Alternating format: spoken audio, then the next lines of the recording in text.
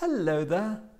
Imagine all the museums and churches in the world burn down, and all the priceless artworks in them will be lost to the flames. But you, you can rush in and save 100 paintings. Which ones are you going to choose? A hundred paintings might seem like a whole lot, but really it's a tricky question because what are you going to select for? Eh? Beauty, historical significance, personal attachment? And remember, everything you do not save will be lost forever. I've studied art in depth for 10 years now, and I've put together my own list, which I'm going to share with you. Every week, I'll be posting a video about a painting that I would run into a burning building for because I think it's worth rescuing for future generations. I find that if you think about art in this way, would you put your life at risk for this painting? I find that most people start to think about art in a much more level headed way.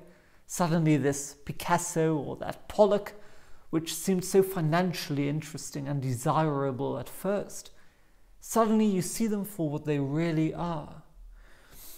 I wouldn't risk my life for The Scream by Edvard Munch, which is just famous for being famous. Also, there's nothing as underwhelming in life as going to the Louvre in Paris for the first time and seeing the Mona Lisa. Sure, there's a certain je ne sais quoi about her, but she's not going to be on my list either.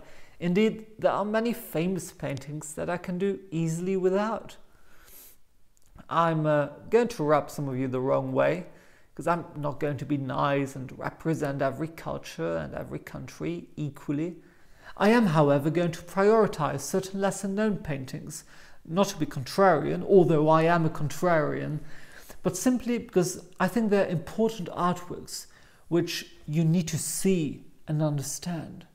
Now, you may very well ask, what's the point of this exercise in artistic discrimination?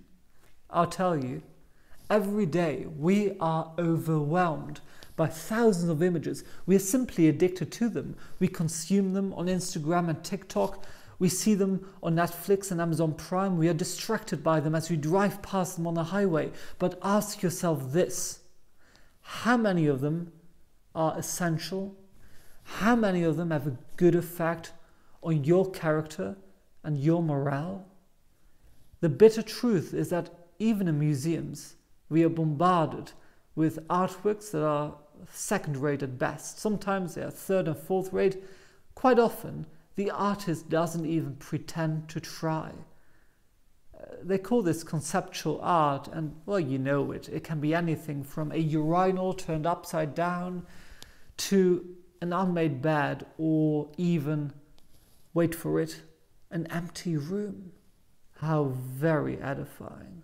We've been enslaved by this corrupt ideology which claims that anything can be art if we just wish it so. No, this is a modern fiction.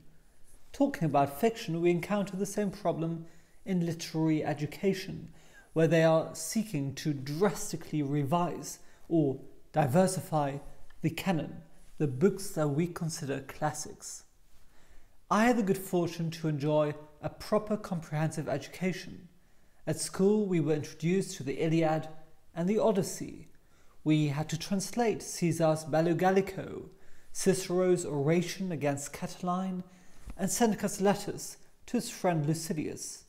Letters which I still read today because they are universal and timeless. We also had to read medieval epics like the Nibelungenlied and La Chanson de Roland. These are cultural reference points which tell us something very profound about our identity, about who we are and who we can be. They've guided me and protected me in keeping true to my own self. Similarly, there are paintings which I've meditated upon, whose essence I've absorbed, and as a result, there is an unbroken link between me and my ancestors. I will warn you, this is going to be a dangerous journey.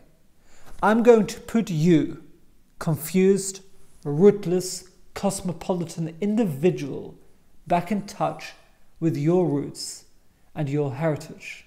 I'll introduce you to paintings which can and will moralize you and inspire you to do great things. We are going to return to history, you and I, and revive the cultural and artistic knowledge of our civilization. We are going to do this together. I invite everyone to comment on these videos and to discuss their content critically.